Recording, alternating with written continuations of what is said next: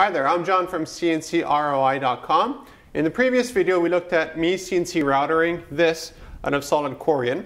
And in today's video, we'll take a look at the same thing, but done with a laser.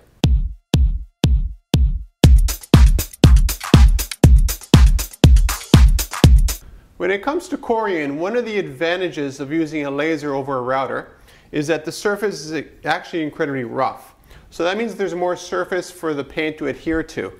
While when you're doing it with a router, it's actually pretty smooth and somewhat sanded, uh, just because the bit is going over it at a constant height. While with the laser, it's actually a beam of light just going like this all over the surface. So that's why you got more surface area. The other advantage to a laser is that you have very, very fine detail. Um, on this here, if I wanted 1000 dpi, something microscopic, I could totally do it and paint fill it if I wanted to, and you'd actually be able to see it. While with a router, you're limited by the size of your bit. Uh, for this here, I use a 1 8 straight double flute bit and a V-carve bit at 60 degrees. And on this one here, I can possibly do this with a 60 degree bit, just going slightly into it. But I would not have the straight in angle that I achieve with the laser because the laser does not use a round bit going into the material. The other advantage to a laser is that there is no surface contact. It's just a beam of light hitting it, vaporizing it, and hitting the next spot, and the next spot, and the next spot. So there's nothing pushing or pulling it. This is why when I did this, I did this bit with the router first, because there is some pushing and pulling, and afterwards I cut it out, and I don't need all that excess material to hold it down. I don't need any hold down with the laser.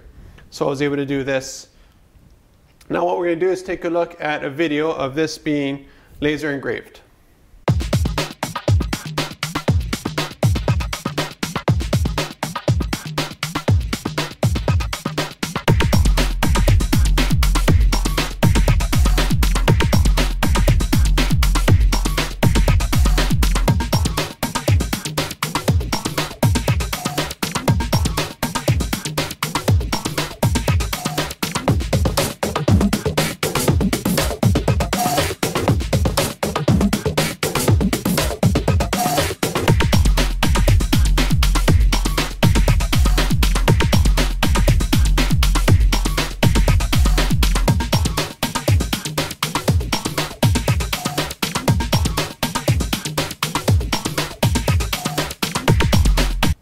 As you saw, the difference between laser work and your router work is night and day.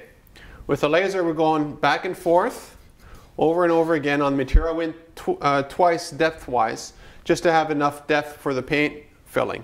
I could do it in one pass, I could do it in 10 passes. So the depth with a laser is maybe roughly one millimeter per pass, depending on the power settings. I could do more, but what you do is actually start to show the material inconsistencies regarding the density of the corian. So yeah, I could go in maybe three or four mil, but then you end up with a bunch of like little pyramids and stuff, which, you know, that, that's just the different material compositions that make up corian.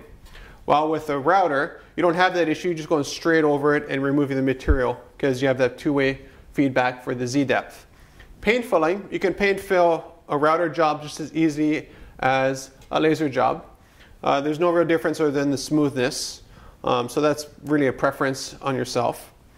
They're both sealed, but if you want to, let's say, a profile, profile is better done with a router, while fine detail is better done with a laser. So what we do at CNCROI.com is you give us the project files, and we use something, we use technology that optimizes the results to your needs. So we could easily have this as a profile, which looks really, really cool. And then what we'll do is do the paint filling here with the laser. So I'll see you in the next video and we'll do a lot more Corian in the future.